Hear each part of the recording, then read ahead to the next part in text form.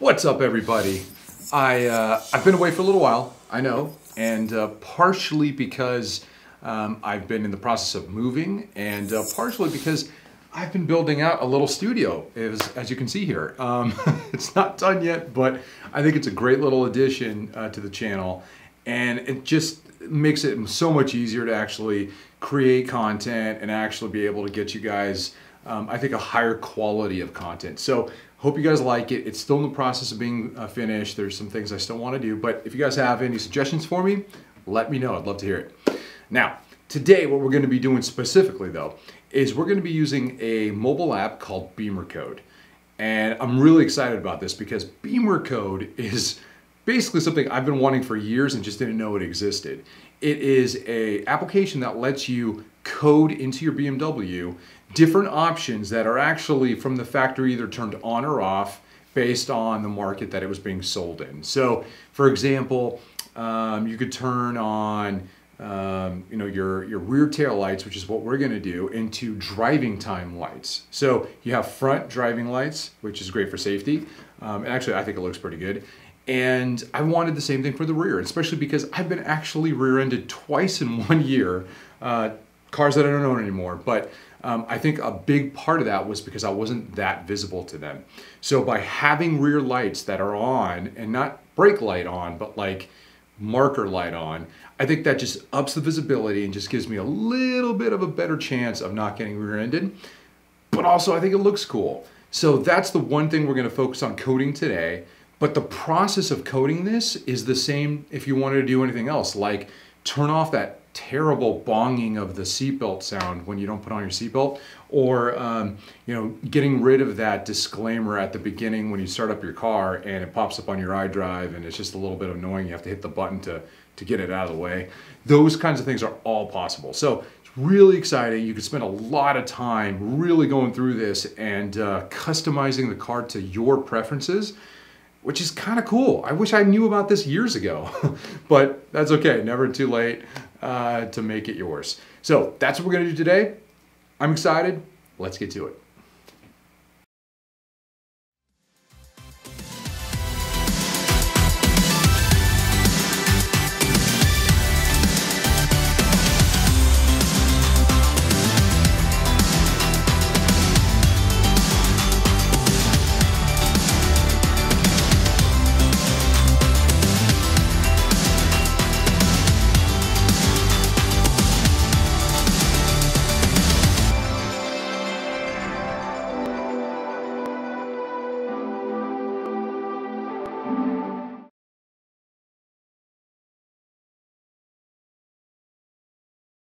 All right, guys, so the first thing you're gonna need in order to do this is uh, one of these guys. And uh, this is just an OBD2 reader. Um, it is a Bluetooth, and this one is called a uh, Veepeak. Um, and uh, I got this off of Amazon. I think it was like just over 30 bucks, maybe $33, something like that. So um, this just simply plugs in to your OBD port and that allows you the ability to communicate with the car, which is what you need. So I'm going to put a link in the description down below for this and you guys can pick this one up. Actually, I think BimmerCode has this one as one of the suggested ones you can buy, but you could also um, pitch, uh, pick up some other ones that are maybe a little cheaper. I just want to tell you to be careful though, because if you go with one that's not recommended, um, there could be some problems with it, like, like actually uh, maintaining connection before you finish coding or something like that. And uh, that would be really bad if you went to code something, it didn't finish, it could cause all kinds of challenges. So let's just make sure that um, you know that up front. Secondly, um, I do get a lot of questions around will coding actually um, affect my warranty? The answer to that is no. I mean, the things that we're doing in the car, it's it's not it's nothing that we're um, breaking or changing to the point where you can't actually put it back to the way it was the day you got it. Um, these are just options that you get to change. It's just that now you have you actually know you can change them, and uh, you can fine tune it to your preference. So don't be afraid. You should be fine on all that. So let's go ahead and plug this guy in. All right. So once you've plugged that in, you should see a blue blinking light on this particular one. That just tells you that it's actually communicating with the car. next thing you got to do is you have to push it um, or turn it on into the power on mode.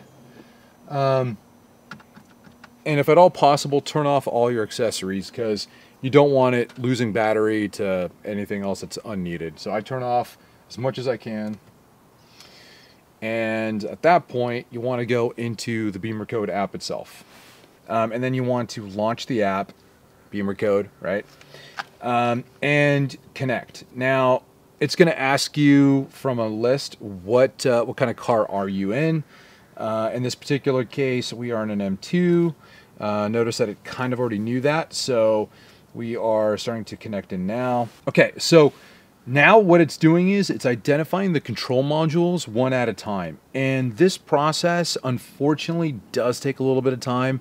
For me, I find it takes about uh, one to two minutes, depending on um, well, really depending on the speed of my phone, to be honest. Um, but it that's okay. You just got to be a little patient, and uh, once it connects, you'll find that it's actually going to have all the specific categories of options that you can change and adjust. Okay, great. So now we've actually made it into all of the control units, and in this particular car, because it is a 2020, there's a ton of them. Um, but the one that we want to specifically focus in on is actually going to be called the rear electronic module. And I'm going to click into that. Now, it's going to do another, um, I don't know, maybe 30 seconds or so to log into that particular module. And that's because it's actually like tapping into that part of where the computer is or the, um, um, any of the data for that uh, particular option lies. So, so it takes a little bit of time, but that's okay. Now um, it's already half done. Once we get into this part, you're going to see that it's only going to show us things that we can manipulate for this module. And these are this is the part where you get to decide what gets coded and what doesn't.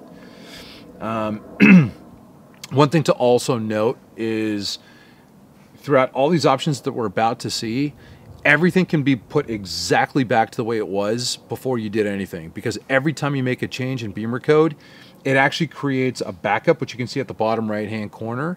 And if you click on that and it'll show you all your backups, you just click on the date of the backup that you last had that you felt was when the car was the way you wanted it to be, whether it was from the day that you picked it up and the first day you did any coding, or it could be many different iterations from then. But that's okay. It's up to you. So no fear on this. You're not going to break anything. Now, as you can see here, we have a ton of different options that we could play with here. And if you really wanted to go through each one of these things, and this is just one module, remember, I mean, you could spend hours fine tuning stuff. But for the purposes of this tutorial, all I want to do is focus in on making my tail lights into daytime running lights. And so right here, there's a section called daytime running lights. And there's daytime running lights, rear lights, outer part, and there's daytime running lights inner part.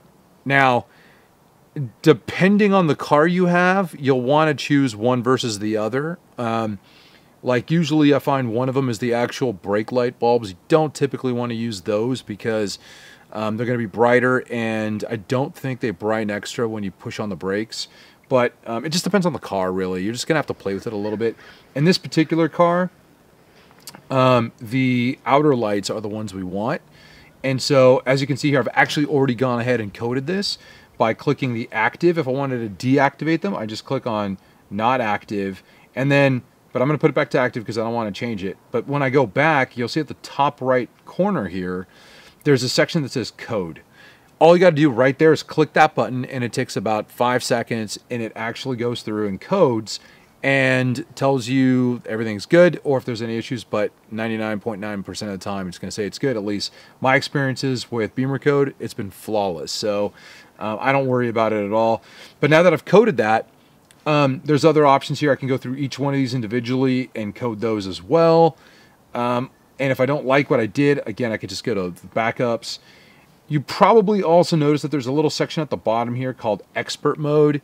I would stay away from that unless you really know what you're doing. Um, that's really more for um, you know people who understand uh, the different naming conventions um, of like the deeper systems, and could really get lost. So I would say give it a little time before you start getting a little crazy with that. But for the basic stuff, you can code just like that. And then all you want to do to finish is go back to the main um, menu, which is this here, and then just click disconnect. And once you've done that, um, you're good to go. You can pull out the dongle. You can leave it in if you want. I usually pull it out and uh, check to see what you've done with your work. So let's give it a look and uh, see if we actually accomplished anything. All right, let's uh, start this guy up.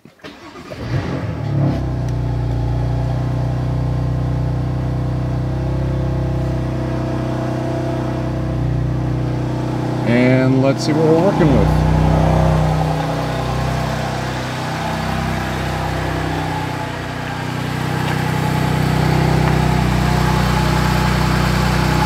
So you can see we got the halos on, so that's good.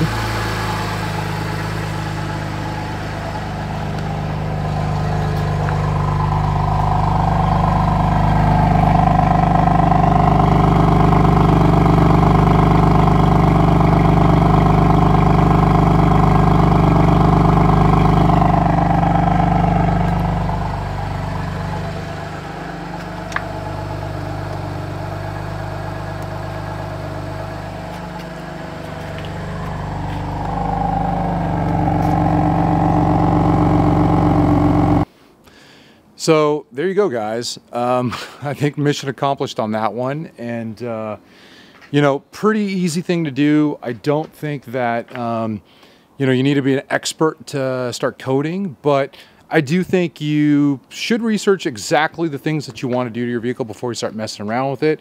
Also, a couple more notes.